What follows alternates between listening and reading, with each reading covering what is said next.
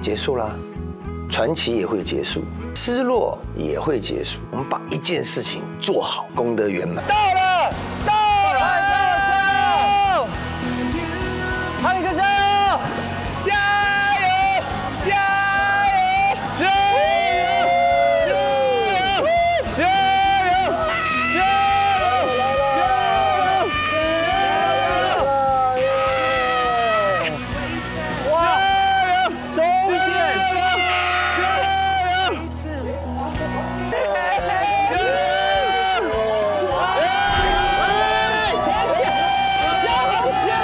那一刻是又有点离情依依，然后有些伤感的，又有一些呃满足的。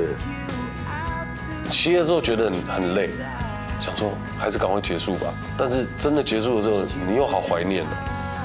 以前知道无畏无惧这四个字，那现在就真的是会用无畏无惧去把后面的人生给完成。哇，帅啦！你说谢汉哥，天天天，谢汉哥，谢汉哥，是，好好。你愿意去做，你就会做到，你就会达到目标。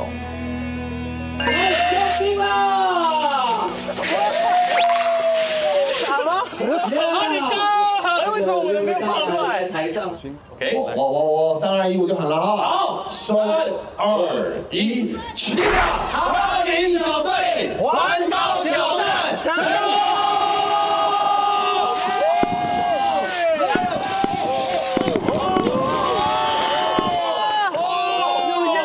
过年了，过年了！